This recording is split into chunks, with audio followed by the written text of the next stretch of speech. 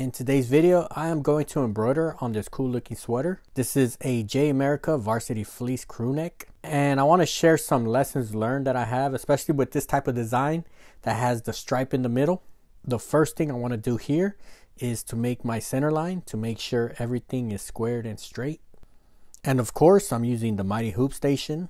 This is the 10 by 19 magnetic hoop.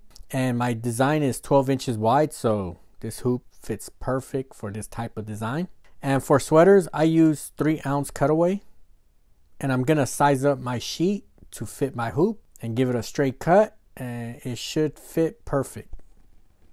All right, now once I hoop it up, this is where I notice a major, major flaw here. Okay, so here I'm gonna show you uh, on one side, my white stripe is measuring at about five inches.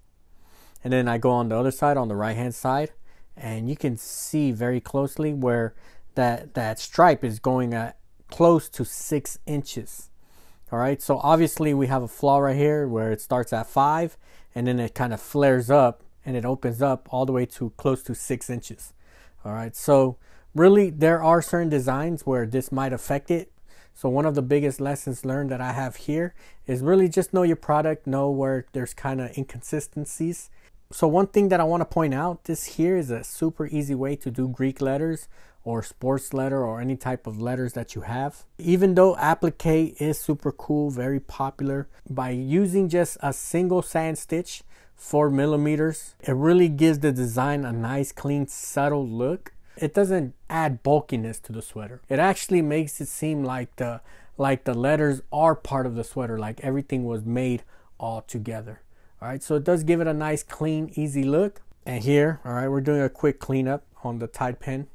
Tide pen just removes this nice and clean. All right, let's check out the final product. And we are looking super clean. And really the main lesson here is just know your product. Know, know that uh, items aren't perfect. Test it out. See, maybe it might work. Maybe your design might not allow it to work. So even though the sweater is not created perfectly, perfectly squared and everything's not perfect. All right. I think it still looks good. Let me know what you think down below.